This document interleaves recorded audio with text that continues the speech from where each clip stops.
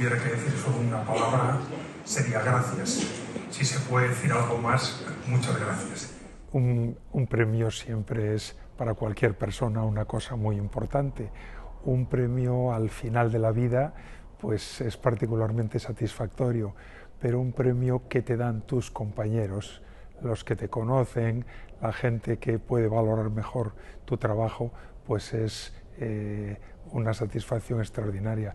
Yo tengo que dar unas gracias enormes a la gente del Colegio de Médicos de Madrid que me ha propuesto y a la organización médica colegial pues que ha tenido a bien el, el concederme este, este premio.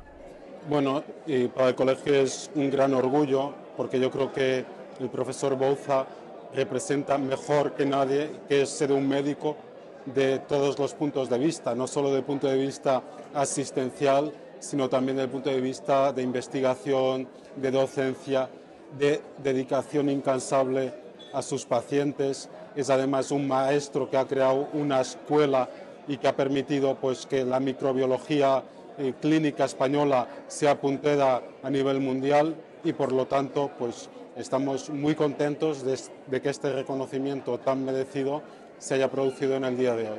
Bueno, pues es importante porque todos los profesionales médicos han hecho un esfuerzo titánico durante la pandemia. Y lo que hemos querido agradecer aquí es precisamente eso, el esfuerzo por adquirir esos conocimientos y competencias con un solo objetivo que han sido los pacientes, el esfuerzo por adquirir orden y procedimiento a la hora de la asistencia clínica en el ámbito que a cada uno nos corresponde, porque eso va dirigido directamente a la seguridad del paciente y por tanto a los pacientes. Y luego he querido agradecer en particular la vocación, la vocación de la profesión médica, la vocación de nuestros profesionales.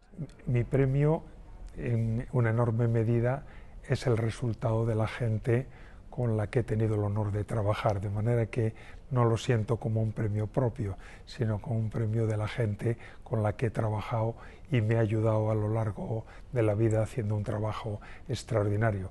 Creo que es un buen momento de recordar el extraordinario oficio que tenemos y yo animaría muchísimo a la gente joven que está haciendo medicina o que ha terminado a que desarrolle una carrera en la que pueda combinar el trabajo clínico diario con, con una investigación básica o traslacional. Yo creo que da enormes, enormes satisfacciones. Poco dinero, eso sí, pero muchas satisfacciones.